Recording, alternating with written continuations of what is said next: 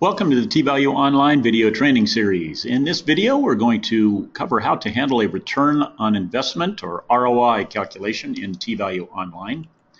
TValue Online, it's an excellent tool for calculating internal rates of return on an investment. You really just need to know the investment amount and projected or actual cash flows.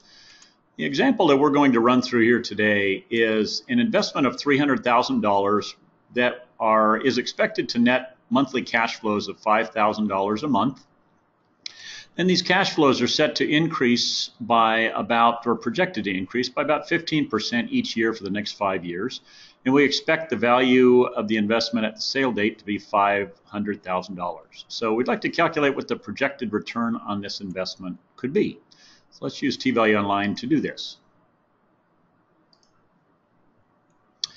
We have some of the uh, information entered in already into TValue Online. First off, we have uh, our cash flows are going to be monthly, so we're leaving our compounding period as monthly. Our nominal annual rate is going to be the unknown that we're solving for. So we typed U in the nominal annual rate field. That's going to be our, uh, basically our return on investment, our rate of return, if you will. And we're going to have an investment on 4-1 of 2018 of $300,000. We said our monthly returns were going to be $5,000 and the term was going to be five years. But we did say also that our, um, our monthly payouts were going to rise by 15% every year for the next five years. So let's build that in using a special series. Special series that we're going to be using, we can click right in this column here to select special series.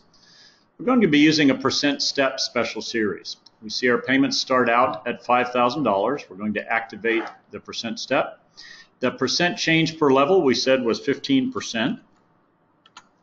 And it's going to increase every year, so after every 12 payouts of $5,000 and then some.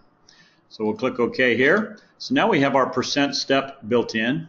And then what we also said is at the end of that five years, uh, we're going to, the business is expected to be sold for $500,000 on 4-1. So let's build that in. Change our date. And we said 500,000. It's going to be the final value of the investment there.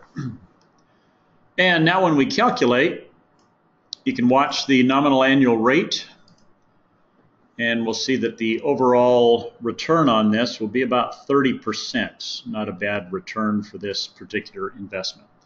Now, if we could ever help you structure an investment such as this or any other calculation using TValue Online, never hesitate to reach out to us. We're always happy to help you get the most from your TValue Online subscription.